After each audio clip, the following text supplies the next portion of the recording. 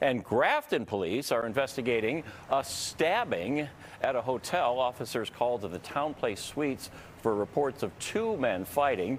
Police say one of them broke a beer bottle and used it to stab the other man in the neck several times. The victim was taken to the hospital and is expected to survive.